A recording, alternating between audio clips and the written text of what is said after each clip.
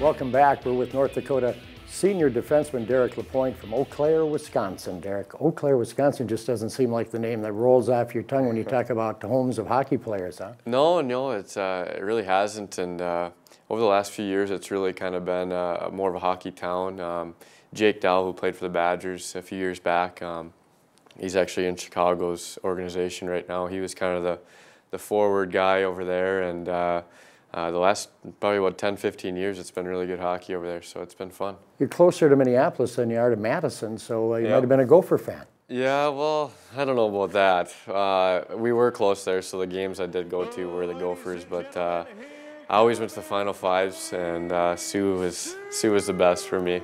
Were you a hockey-only guy when you were young? No, I played golf, played baseball, played a lot of sports, so you know, did them all. But uh, when it all came down to, and I got to high school, it was golf and golf and hockey golf handicap? Zero somewhere uh, in there? I'd say about like five or so. I mean, I play all right, but uh, nothing special. Do you play a lot now? I do play a lot. I have a girlfriend who plays on the golf team here, so she gets me out and kicks my butt a little bit. Can you beat Brent Davidson? Uh, he, uh, you know, he's pretty good. It's, we've had some duels, but I think he's probably got the upper hand on me. Talk about your upbringing as a, as a hockey player and how you decided that maybe this is the best route for you.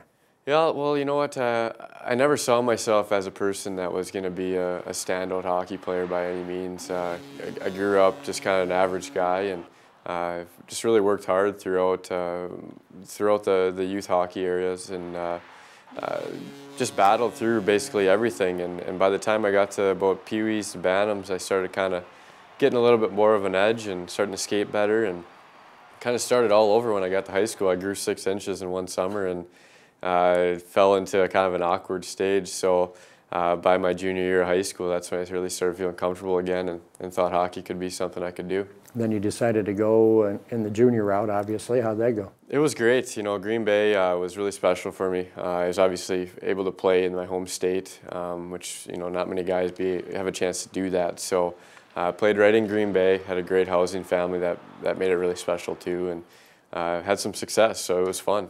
You have a brother at Wisconsin. Something not right about that, is there? Well, he was here, so we got to give him that. But uh, no, a career career option came up, and uh, you know Wisconsin's a good fit for him, and he's he's having a fun time down there. Enjoyed your time at North Dakota? I did. It was it's been unbelievable. I've, I could not have picked a better spot to play hockey, and obviously with school and, and the atmosphere here for hockey is is phenomenal. Nowhere nowhere better in the country. PGA Tour, NHL, what's it going to be? Well, hopefully the NHL, but uh, maybe senior PGA Tour if uh, if I if the hockey career doesn't work out. But no, it's uh, definitely going to be hockey if I can do it. Derrick, thanks for being with us. Appreciate it and good luck. Thanks, Tim.